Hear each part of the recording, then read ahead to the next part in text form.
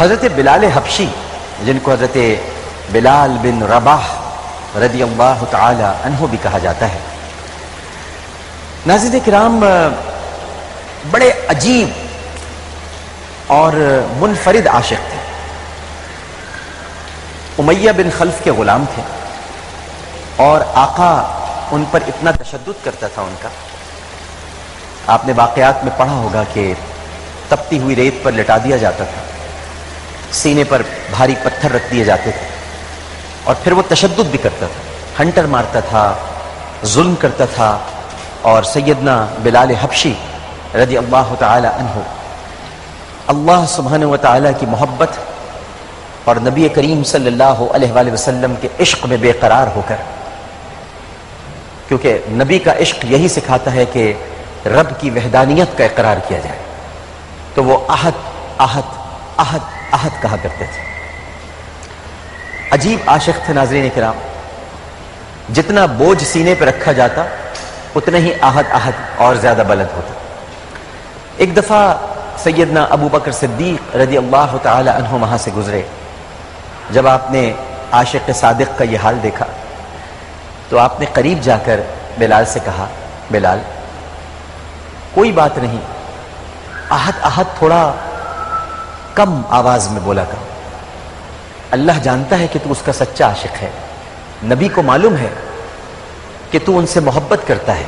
लेकिन हिकमत का तकाजा यह है कि अपनी आवाज़ को आहिस्ता कर ले, क्योंकि इस आवाज़ से जल कर और इस आवाज़ से डर कर और इस आवाज़ के खौफ में मुब्तला होकर उमैया बिन खल्फ तुझ पर जुल्म करता है।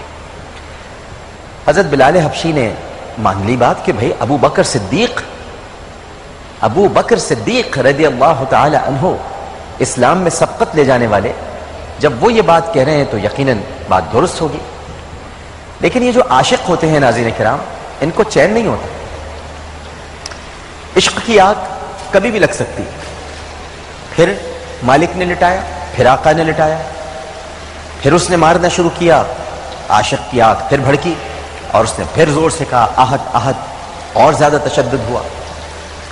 अबू बकर सिद्दीक रज़ी अल्लाह तहों ने एक मरतबा फिर नसीहत की।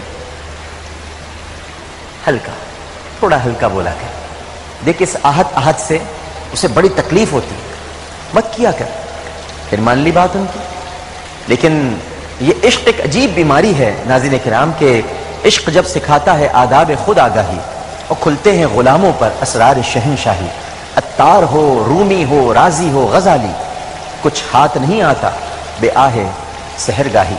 नौमीद ना हो इनसे, ए रहबर फरजाना। कमकोश तो है लेकिन बेजौक नहीं राही। ए ताइर लाहूती, ए ताइर लाहूती।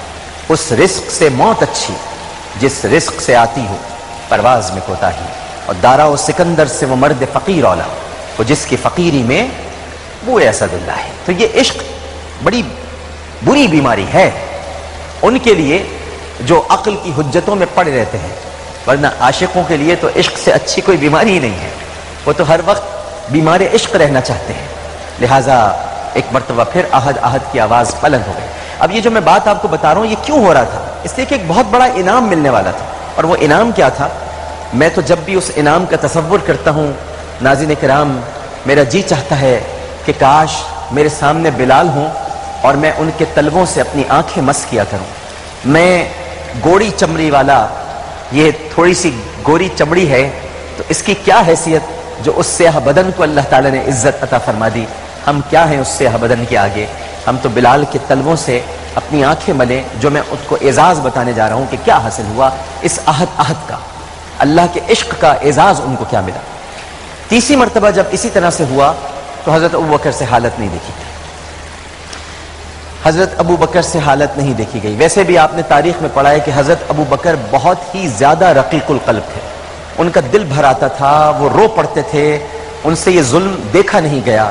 वो रोते रोते आँसू बहाते हुए नबी करीम सल्लल्लाहु अलैहि वसल्लम की बारगाह में काशान नबूवत में पहुँचे और फिर कहने लगे, या रसूल अल्लाह सल्लल्लाहु अलैहि वसल्लम, बिलाल की हालत देखी नहीं जाती।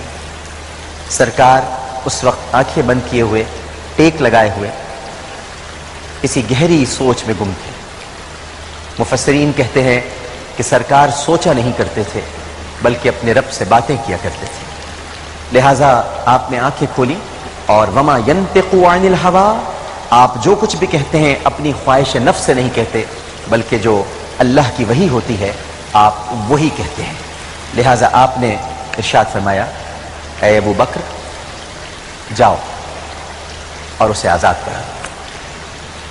हज़रत अबू बकर गए, उमैया के पास पहुँचे और कहा कि तू इसको क्यों मारता है उमैया?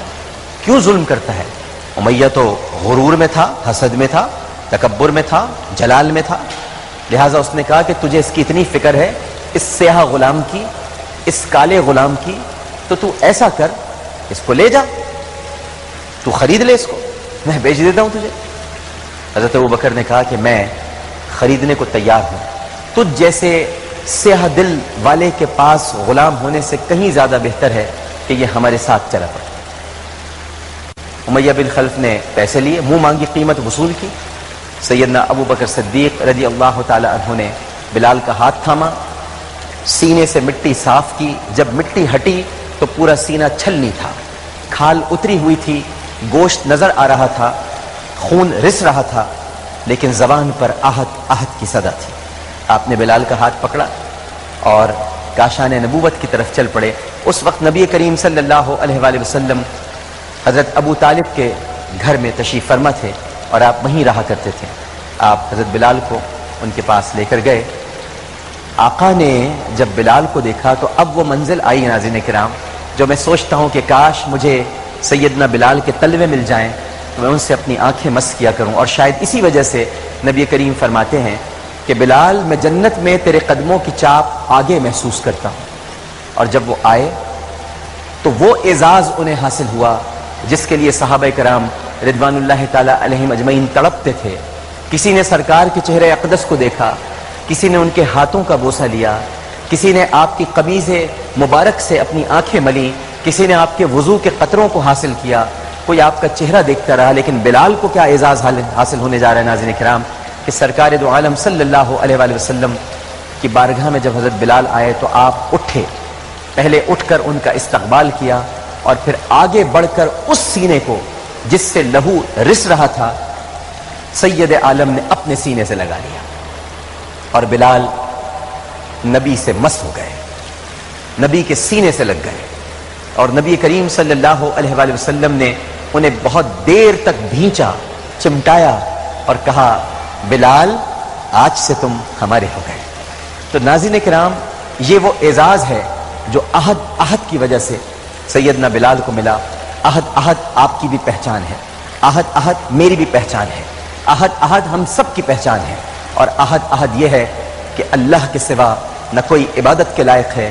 अल्लाह के सिवा न कोई मदद कर सकता है। अल्लाह के सिवा किसी को ना पुकारो। पुकारो तो सिर्फ़ खुदा को पुकारो, उसी को पुकारो जो तुम्हारी पुकार सुनता है। उसी से अपना दर्द कहो जो तुम्हारे दर्द का मरहम बनता है और उसी से अपना दुख बयान करो जो तुम्हारे